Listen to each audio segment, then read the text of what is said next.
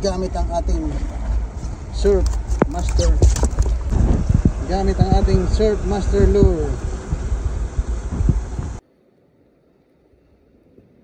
Yan pisyon tayo mga parts. Ma! Dali mo yung ano ng oy! Yung sa GoPro ko sa GoPro. Yung sa GoPro. Sa GoPro nasa kotse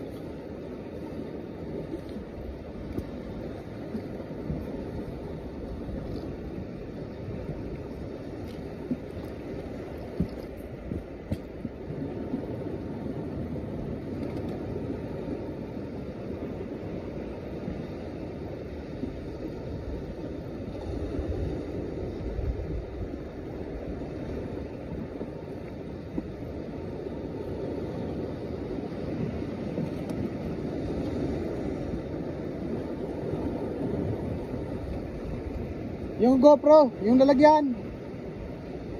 Lalagyan ng GoPro. Ayan mga idol na dali natin ngayon. Oh.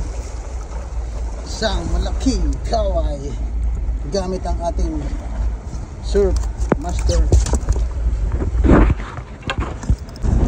Gamit ang ating surf master lure.